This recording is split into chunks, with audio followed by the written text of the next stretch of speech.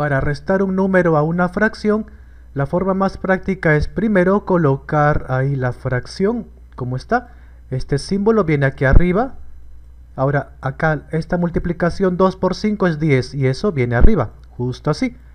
Ahora restamos arriba, 11 menos 10 es 1 y abajo se queda 2. Así que respuesta, un medio. No olvides que si es que esta fracción se pudiera simplificar, lo simplificas. En este caso ahí queda.